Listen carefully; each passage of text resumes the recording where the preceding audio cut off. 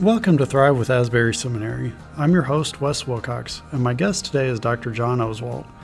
Dr. Oswalt is the visiting Distinguished Professor of Old Testament here at Asbury Seminary. This is his third term on Asbury Seminary's faculty. He is the author of 16 books and has also written numerous articles that have appeared in Bible encyclopedias, scholarly journals, and popular religious periodicals. Dr. Oswalt is an ordained minister and has served as a part time pastor in congregations in New England and Kentucky, and he is a frequent speaker in conferences, camps, and local churches. Today we're talking about his calling and why he loves to teach. Well, Dr. Oswalt, we are so glad to have you on the podcast today. Thank you.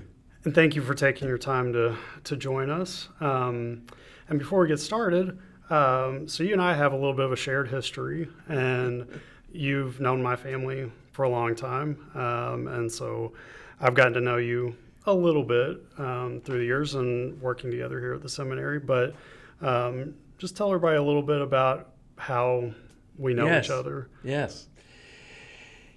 In uh, 1973, uh, a pastor from the Central Methodist Church in Maysville died early in the fall. The church wanted to keep his wife in the parsonage for the rest of the year. And so the uh, district superintendent cast around and tried to find someone who would fill the pulpit for uh, the rest of that year. And he landed on me. Uh, I was very young at the time, uh, only in my third year here at the seminary, but I took on the task of driving back and forth every Sunday morning up to Maysville and coming back Sunday evening, doing two services there. And uh, two of the young people that I met in the church at that time were uh, Steve Wilcox and Marla, and I've forgotten what her maiden name was, but they were not married at the time. Uh, ultimately, they did marry and produced Wesley Wilcox. and now we're here doing this podcast. yes. Oh, amazing. Um, that was a great year. Uh, it was it was a a blessed time um, with those people and uh, several who are now gone to heaven, including your father, uh, were great friends across the years. Yeah, yeah.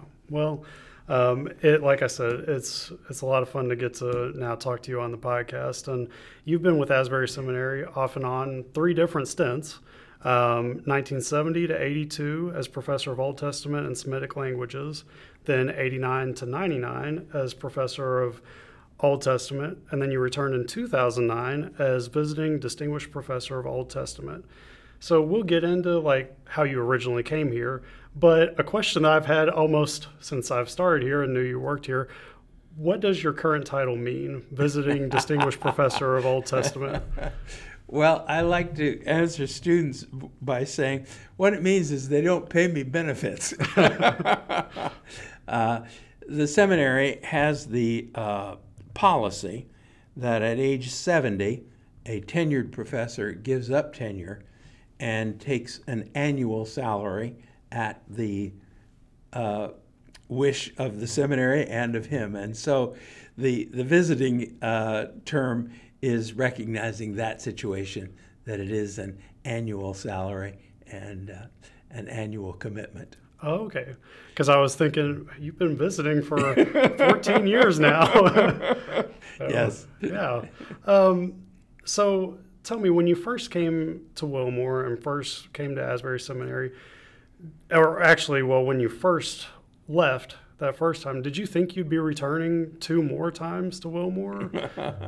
no, and and when uh, we left after my seminary work here, uh, that was in 1965. Karen often says, Well, as we drove out of town, I thought, that's the last time I'll see Wilmore. Her premonition was uh, dead wrong. Yes. Uh, yes. Uh, I, I, left in 1982 to become president of what was then Asbury College. And uh, then, when I got delivered from that by God's grace, uh, and we went to Trinity Evangelical Divinity School, we were assuming that would be for the long term.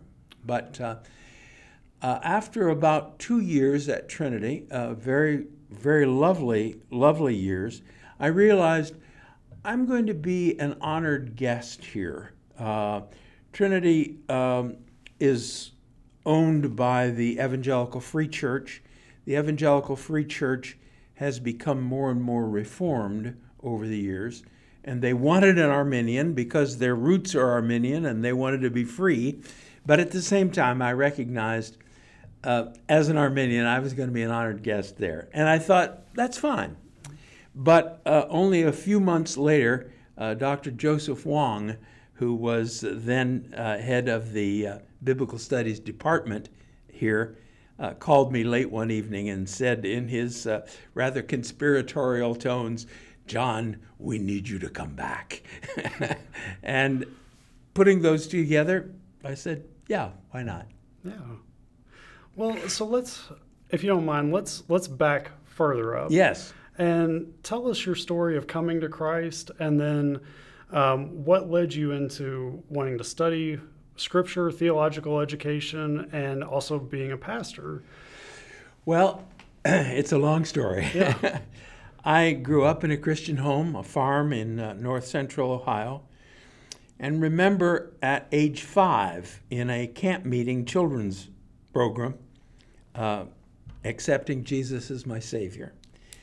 But I really, I really had no assurance of uh, my salvation. And uh, uh,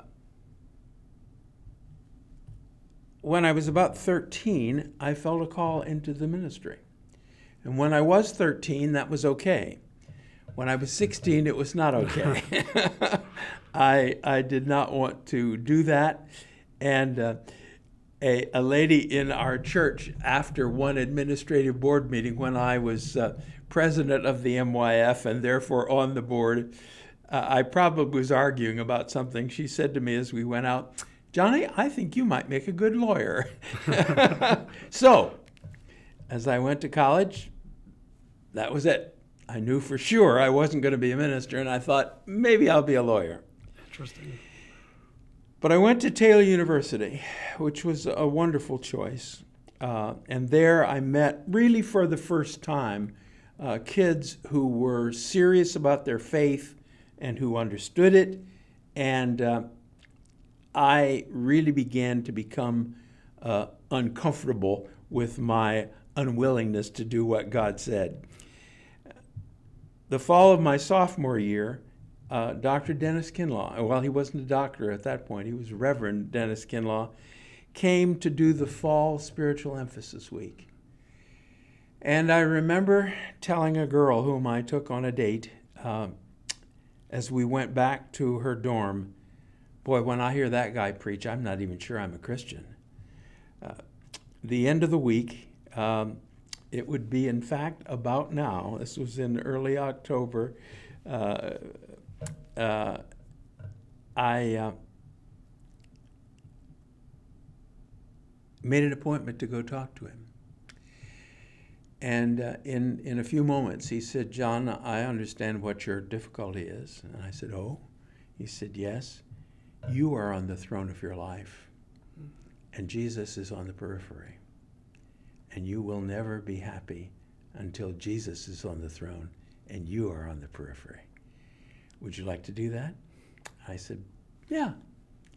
Well, in what I learned later was fairly typical of uh, Dr. Kinlaw, we were sitting on chairs, sort of knee to knee. He moved out to the edge of his chair, so his face was very close to mine, and he said, John, what is there you won't do?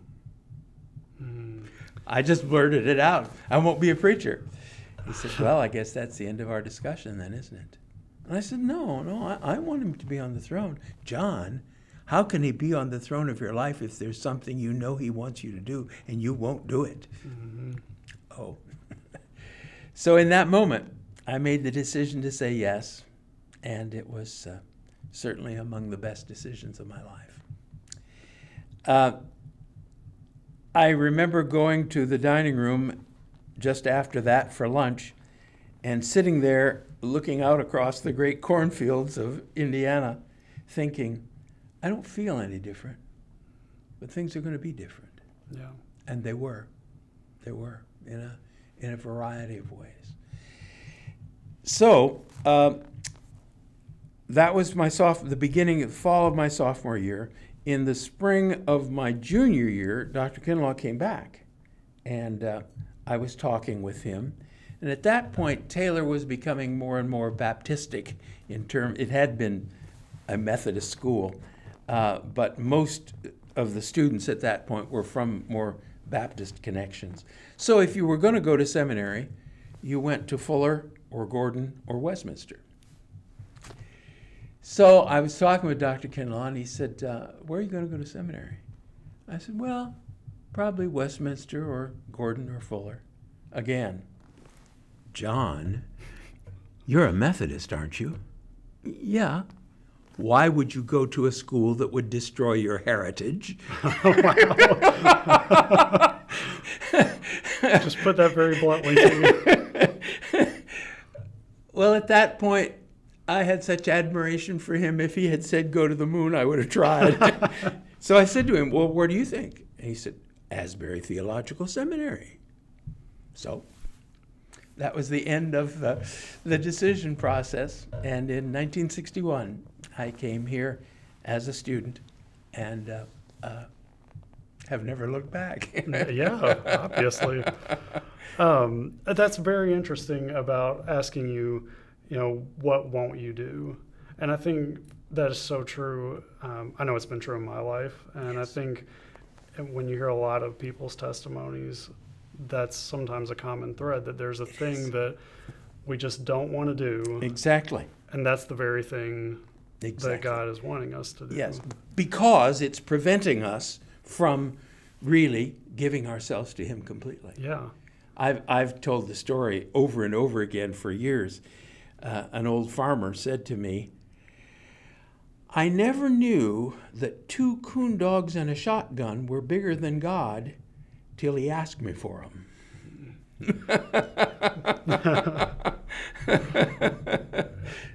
so that, there it is. Yeah. So, uh, when I, I, I, as a result of that experience at Taylor, I began to read the Bible seriously for the first time in my life and thought, well, I better start at the beginning. so, for those, the rest of my time at Taylor and my first year here at the seminary, I was working slowly through the Old Testament and just finding it opening doors and windows on my faith. And uh, then in the spring of my second year here, I felt a clear call into teaching. Now it's very interesting. When I was a senior at Taylor, I was I was an English lit minor, and uh, in after one of the classes, the professor said, uh, "John, could I speak to you a moment?" And I said, "Sure." She said, uh, "What are you planning to do?" I said, "Oh, I'm I'm going to become a missionary." She said, "I think you have a gift for teaching, and I think you ought to consider that." Wow. And I thought, hmm, what does she know? well, 30 years later, I was back at Taylor and she was there and she said, Do you remember a conversation we Oh, had? wow. I said, Oh, yes, I do. Yeah. but at any rate, I felt a call into teaching and I thought, Well, what will I teach? Well, I was taking Hebrew at that time and enjoying it, and, well, Old Testament. Huh. I'm so glad I made that decision about a month before the announcement was made. We have a new Old Testament professor coming next fall, a man named Kinlaw. Wow. I think if I had made the decision after he was here, I would always thought, well, I chose Old Testament because of him. Uh-huh. Uh, but no, that wasn't the case. That's funny how he just kept re-entering your life. Uh, yes, yes, and I'm I'm forever grateful Oh, for yeah. it because of because of that. So um, I then he he persuaded me to stay for a year and do a THM um, as preparation for PhD, and I think it definitely was. And then went to Brandeis. My sense of call into teaching was to college teaching. Uh, and and in the in the graduate program, most of the uh, other evangelicals were going to seminary, but I, no, I'm going to college. So I, by God's grace, uh, got a job at Barrington College in Rhode Island, and it was it was a wonderful entry into teaching. Uh, there were uh, uh, three other relatively young men in the department, and they sort of took me under their wing, and uh, it was it was great. But I realized, okay, if I remain in college teaching, I probably will not do very much of a scholarly nature, and that's okay. Well, that fall, Dr. Kinlaw left Asbury Seminary to become president of Asbury College, and I was invited to apply for the position. Well, I thought, my goodness, here I am, a brand new PhD in my first year of teaching, and I knew that some of the others who were uh, being considered had a lot more experience. And uh, but I thought, well, why not? Yeah. Let's let's test the waters. So I did, and I was one of the uh, uh three who were interviewed. Well, one of them had about 20 years of experience and several publications. The other one was a colleague of mine, but a very bright guy with a, with a very good degree, and me. So I thought, well, not a chance, but why not? So the, the younger man, the, the fellow student of mine, was offered the position. But in the end, he turned it down and didn't turn it down until late in May. So they couldn't fill the position that fall, and it was empty. Uh, but when I got the news of who had been chosen, I wrote to Dr. Stanger and said, Thank you for the opportunity to interview, and thank you for uh, these possibilities, and I think you've made the right choice ever after that, when I did finally come back to teach here, he would remind me of that. He said, I don't think I ever got an interviewee who was turned down who thanked me. but I felt at the time, it's great. So, our daughter Elizabeth was born in January. A very difficult birth. Uh, a hundred years earlier, I probably would have lost both Karen and Elizabeth. Uh, Karen was in bed for several weeks. Uh, and in the middle of that came the phone call from Dr. Stanger We'd like you to take this position.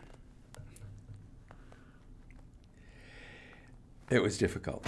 Uh, uh, there were just a lot of factors that left it sort of hanging. Should we stay at Barrington? Should we go back to Asbury? In the end, we, Karen and I, remember uh, sitting in our bedroom, she in bed, I at the foot of the bed, just pros and cons. And her memory is different from mine. Her memory is that it was 51% to stay in Rhode Island. My memory is that it was 51% to go. and she was submissive. uh, so we came. And uh, it was again, it, it, was truly a wonderful dozen years. Uh, Dr. Livingston, who was the Old Testament professor at that point and, and had been my Old Testament professor along with Dr. Kinlaw, was so gracious. Uh, and it was, it was a good experience. Yeah. So in that time, you're a teacher and um, thinking about coming here and everything. Had that superseded in your mind the call to being a pastor, or were you pastoring also during this time? I was not pastoring. Okay. I, I was preaching pretty frequently. Oh, okay. And in fact, during the six months after I turned in my resignation at Barrington and we finally moved here, uh, we were financially very tightly pinched, and I was preaching virtually every weekend. Uh, so, uh, yes, I would say, and, and this is interesting, I don't think I was ever called to be a pastor. Oh, okay. I think I was called to preach. okay, yeah, and there is a difference. and there is yeah. a difference. The, the wonderful experience at Maysville, though, for that year was I realized I could be a pastor. Mm-hmm. And, and that was a great encouragement to me because uh, the devil has his variety of accusations. And uh, uh, one accusation was, well, you chose teaching because you couldn't be a pastor. That, that experience at Maysville said, no, I could have if God had called in that direction. Yeah. So, but students often say, well, you never can tell when Oswalt stops teaching and starts preaching. and, and so I have, I have all my life loved to preach. Mm-hmm. Yeah. I think that's very interesting how your calling kind of unfolded and how it started with a call to preach. We will yes. clarify yes. that. Um, and then moved to teaching. And um, and it's clearly something that you love doing, and clearly where God had wanted you. Um, and from hearing you preach several times, the teacher in you comes out when you preach, and uh, it's always um, an education hearing you preach, as well as an inspiration and a conviction at the same time. Um, so I, I'm I've been fascinated how you balance those two roles. So we're going to shift subjects just slightly, but um, outside of your teaching, preaching, do you have any hobbies that you enjoy? Do you have time for hobbies? Yes, yes. Uh, I'm a model railroader. Really? I have a uh, uh, 10 by 20 foot room in the basement that is full of a, a scene. and uh, I've, I've done that for a long time. Oh, wow. Well, that's cool. Is that something from childhood that was always an interest? Partly, or? yes. Yes. I got my first electric train for Christmas when I was 10 years old. And uh, uh, through high school, I built a lot of model airplanes and, and did some with, with model trains. Interestingly, my, my connection to trains is connected to Asbury Seminary. um, uh, that first year, when I was single, uh, another single student uh, subscribed to the Model Railroader magazine. And uh, he showed it to me, and, and that sort of resparked my interest. And the next summer, I was a night watchman at a uh, factory, and so had, after I woke up at one or two in the afternoon, uh, had the rest of the afternoon and early evening free. And found a hobby shop going out of business and bought some kits and a power pack and some track, and that was the beginning. That's very cool. I think that's so interesting. It's interesting to me because the hobby has such variety. There's electronics, uh, you can build uh, building kits or car kits, there's carpentry, uh, there's scenery work. So if you get tired of one aspect, there's another one to work with. Yeah, and it gives your brain something different to focus on from yes. the reading and the yes. Um, yes. writing and all yes. that. Those those little people on that layout obey me. Yes. yep. That's very cool. I also like to work in the yard. I'm not really a gardener, but I, I like yard work and uh, uh, and then reading. I I say to people, I am an omnivorous reader. I read anything uh, from perfume bottles on up. so, do you enjoy fiction? Uh, yes. I, at, at, one point, I read, uh, like uh, J.I. Packer, uh, a lot of mysteries.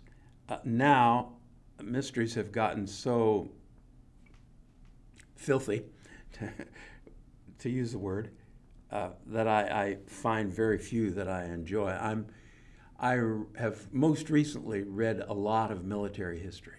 Really? Yeah. Civil War, First World War, Second World War. Uh, read a lot of that. Is there a specific period that you're really interested in, or just? Probably more the Second World War, okay. because that was my childhood. Uh, but uh, Interesting. I always like to know what what people enjoy outside of the thing that most of us know them for, because I think that's very fascinating. Um, well, so getting back to our theological discussion, um, what do you see as the value in a theological education? Because I, I know working at the seminary and we're all a part of this, it seems obvious to us that, yeah, this really is important and very valuable. But what would you say is why it's important? Particularly for those going into pastoring, preaching. Yes. Um, it is important because God has given us minds. Uh, the, the thing about, and particularly the Christian faith, is it is not so much mystical as it is rational. Uh, obviously, there is the mystical element. We believe Christ lives in us. We believe that we can have communion with him. That's mystical. But uh, Kierkegaard was wrong when he said that Christian faith is like the person who stands on the rail of a speeding ocean liner at night and jumps off, believing he will be caught. No, no. God has given us evidence, and it's rational evidence. And in the Bible story, we have then this connected narrative of how God has worked in human lives and how he has represented himself through human experience. And if you are to understand all of that, you've got to think it through. Mm-hmm. And so the, the faith of Christianity is not merely rational, it's ultimately more than rational, mm-hmm. but it's never irrational. It's never flying in the face of reality. So, for instance, uh, this is where C.S. Lewis makes a wonderful point with the Gospels versus the Gospel of Thomas. In the Gospel of Thomas, Jesus makes birds out of mud and throws them in the air and they fly away. Lewis says, no, Jesus' miracles are always within the boundaries of nature. He is always turning grape juice into wine. he is always making bread from grain.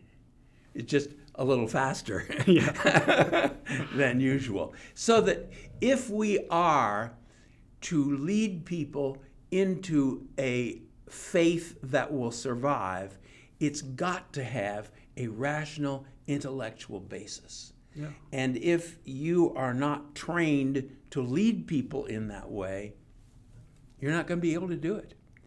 Uh, I've always loved a story that a pastor told me. He said, uh, I was going to go to Asbury. I said, Oh? He said, Yes, but they required Greek. So I went to another seminary that didn't require Greek. He said, Now my people ask me about something in the Bible, and I know it's got something to do with the Greek, and I don't know what it is, and it makes me mad as the devil. uh, yeah. Exactly. Uh-huh. Exactly. There is the Word of God, and the Word of God has come to us in this intellectually, rationally connected form, and we ought to be able to help people to understand what it is saying and why it is saying that. So that the, this kind of theological training is precisely for the sake of the congregation. Right. It's not for you to have a diploma on the wall, it's for you to be able to lead them in a reliable way into a faith that can survive. Yeah. So, what would you say to people? Because I've heard various arguments from people saying, well, the Bible is all I need. And so, if you're telling me that I have to have this theological education, then does that mean that the Bible by itself is not enough? And, or that uh, for the congregation to feel like, well, you're telling me all these things. Does that mean that I can't even read it unless I understand all of this. What what can you say to that sort of uh, thing? This is part of, of what we were just saying. The Bible has come to us as a piece of rational, intellectual literature. If you're going to understand a piece of literature, you've got to understand number one, its historical setting. Yeah. Number two, you've got to understand its literary setting. What kind of literature is this? Uh, is this uh, a judicial argument? Is it a story? Is it a parable? If you are to understand it, you've got to know something about it. I've often said, suppose you are walking down the street and you find a piece of paper on the sidewalk, and you pick it up and you immediately decide, oh, this is a letter. How do you know that? By the form. It's got a salutation, a greeting, it's got a closing. But who are these people? Well, you don't know them. So the letter doesn't make a lot of sense to you because you don't know what their situation was, what they were writing from, what they were writing about. Uh, but suppose, on the other hand, that you're in the attic of your parents' house and you find a letter. And you realize from the name, it's a letter that your grandfather wrote to your grandmother before they were married when he was a soldier in the Civil War. You're going to understand that letter in ways that you could never understand the other letter. Yeah. And that's what the Bible is. The Bible is God's love letter to us. And if you're going to understand it, then you've got to understand what the context was. But this is even more true of the Bible as it is because the Bible is unusual. Other holy books, by and large, are simply statements, supposedly from the God to people. Mahatma Gandhi is reported to have said to E. Stanley Jones, Well, the Bible can't be a holy book. It's got all these stories in it. Yes, God chose to reveal himself to a particular people in a particular place in a particular time. I'm confident he did that precisely because he wanted to make the ultimate truth intelligible because we see it in the context of real life. But you got to know what that real life is Yeah. so that, yes, the Bible, quote, is enough, but you've got to understand its context, historical context, literary context, its setting, if you're to get what it really says. Yeah. And that means not only uh, context, it also means language. I mentioned the Greek thing. Uh, I- I spent a good portion of my life working in Bible translation. And one of the things that was reinforced for me is any translation is an approximation. You are attempting to say as clearly as you can what that says, but languages are never one for one Yeah. this concept is expressed in six words in this language, where it was expressed in one word there. And again, uh, the great joy of being a uh, preacher or a pastor is being able to say, here's what's going on here. Here's why these three translations differ Yeah. on this passage. What's going on is in the Greek or in the Hebrew. Again, this is a gift that you are giving to your people to enable them to understand better. Yeah. And even within that, there is a gift in how you give that to your people. And um, as I said, from hearing you preach on multiple occasions, you very much have a gift for that balance.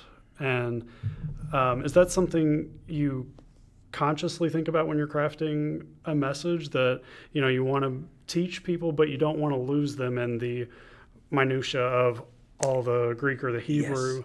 Yes. And Yes. how how do you? Is that just a process over time that you figure well, out? it, it is some of that. It is it is trial and error, what works and what doesn't work. Uh, when you see their eyes glassy, Yeah. you know, oops, this isn't working.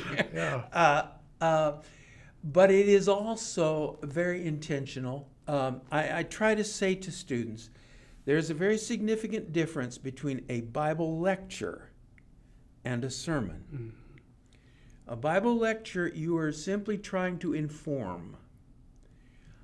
A Bible sermon, you are seeking to address.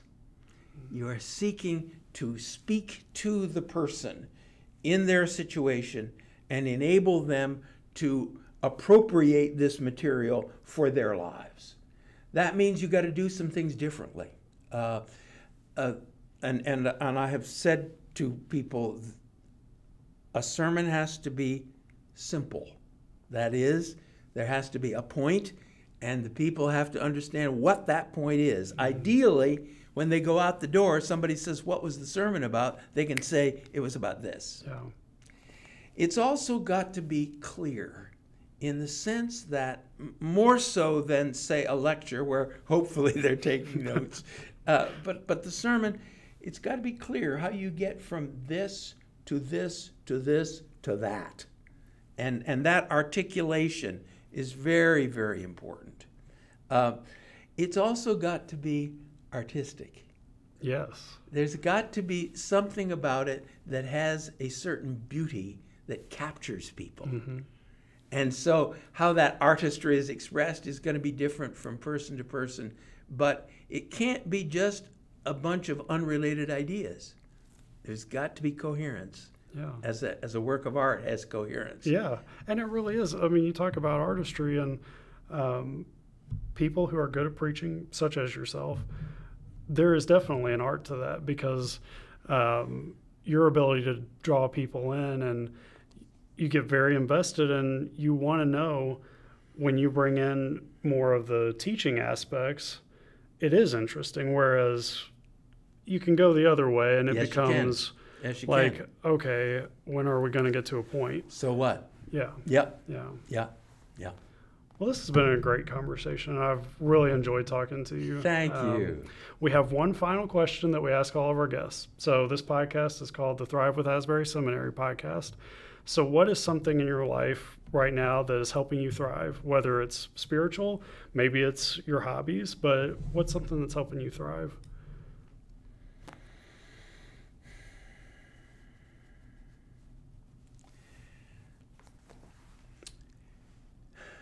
The opportunity to teach. Really? Uh, uh, I, I recently have been reading um, uh, a collection of, of Peggy Noonan's essays, and uh, w- in one of them, she says, I write because I have the feeling I was made for this.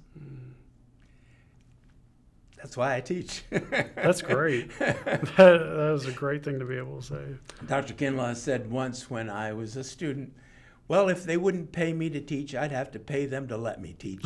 and I thought at the time, oh, yeah, sure. I think I understand now. Wow. Uh, um, and people say, why do you teach? And I say, for the joy of watching the light come on behind their eyes. Yeah. So uh, that's uh, so I have an opportunity to. This, of course, is summer, so the classes are over. But uh, uh, I, I I taught uh, an exegesis of Isaiah course in the spring, and it was just a delight. Uh, uh,